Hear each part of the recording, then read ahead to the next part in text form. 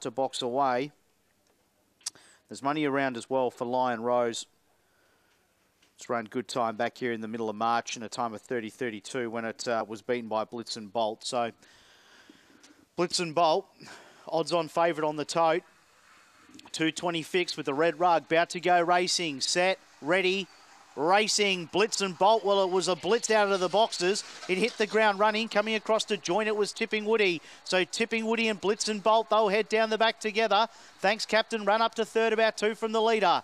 Then came Lectra Munster fourth, three lengths then to Lion Rose. On its outside was Big Rough. Second last was Springs Over, and last of all, Dan Shen. Great race on the turn. Blitz and Bolts regathered the lead from Tipping Woody. Blitz and Bolt gave it Winburn as it ran to the lead. Blitz and Bolt too good for Tipping Woody. Blitz and Bolt beat Tipping Woody. Then third, I'll give it Lion Rose in head of there of Lectra Munster, followed by Big Rough. Uh, then came Springs Over. Thanks, Captain, near the rear with Dan Shen. Favourite too good. Blitzen Bolt. 180 on the tote and a time of uh, 30.50, I think the time is here. 30.50, 30.54 is the time. So Blitzen Bolt. Numbers here will be 1285. 1285 will be your numbers. Blitz and Bolt. Too strong by Cosmic Rumble out of Moonshine Sally. David Peckham trained, owned by D.